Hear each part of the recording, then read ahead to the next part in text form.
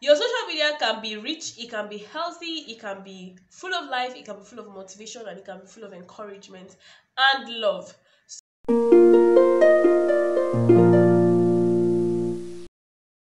Guys welcome back to my channel. My name is jennifer agunbiade if you're new here you are highly welcome. Please do well to subscribe and turn on the notifications so you get notified whenever i post a new video.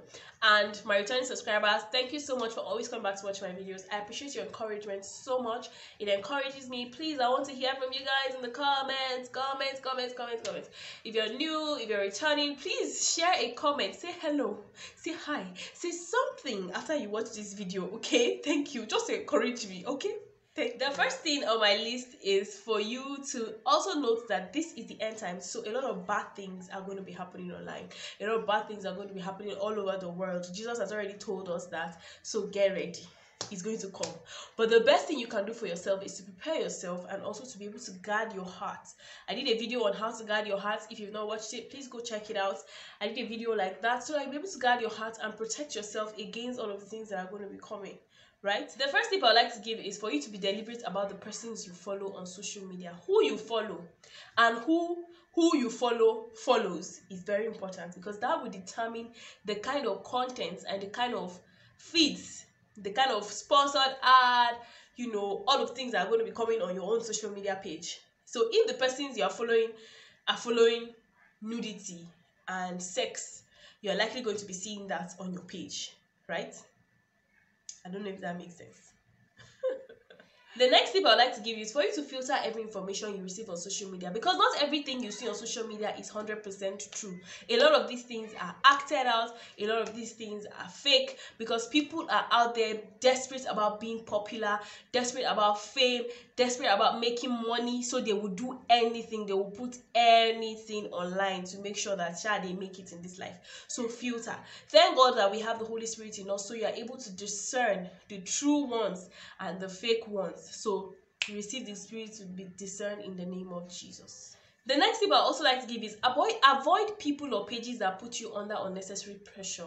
If you feel like this particular person you're watching is always making you to want to show them, to want to prove, to want to do, you, you understand what I mean? You have to be able to cut this person off of your social media and focus on the cause, right? On what you're doing. So avoid you know people that are always talking about preparing them tensioning people trying to tension you trying to do that. Because to be honest one way or the other they have a way of putting pressure on you.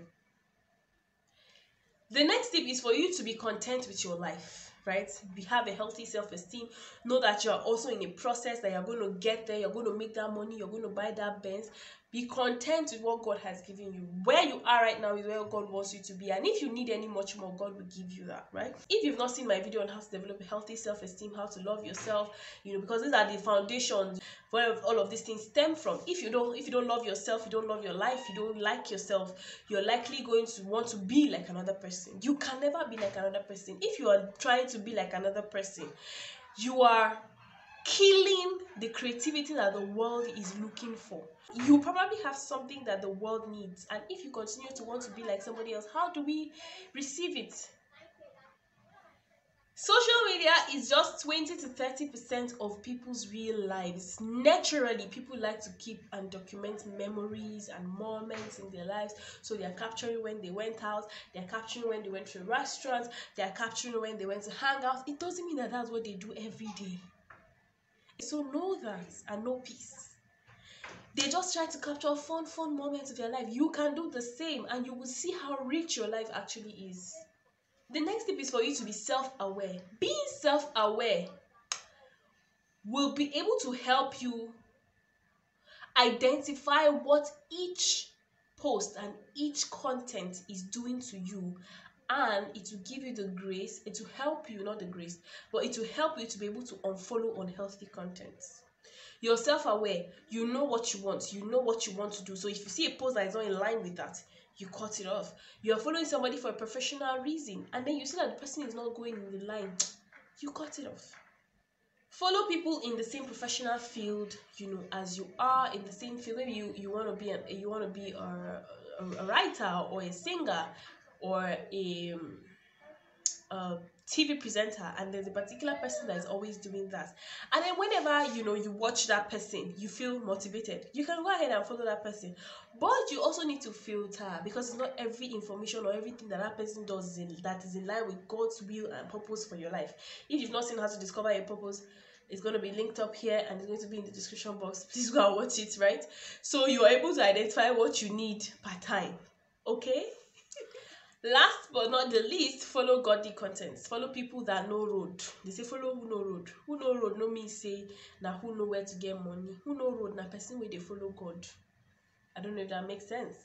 Just follow the right people. Follow the god people with godly contents. Follow people that will further you know push you even to do the things that you've always desired to do and the things that god has called you to do that's it guys for this particular video. I hope you found it helpful. Please do us subscribe if you're not yet subscribed. I'll see you guys again in my next video. I love you all. Mwah.